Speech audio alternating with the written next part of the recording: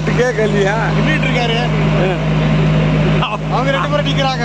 அரப்பாடி வண்டியில கை எங்களுக்கு பசங்க நின்றுட்டு இருக்கீங்களா? வடிவேல் ஒரு படத்துல நிக்கிற மாதிரி எல்லாருக்குமே தெரிஞ்சு போச்சு. செடி நிக்கிறேன்ட்டு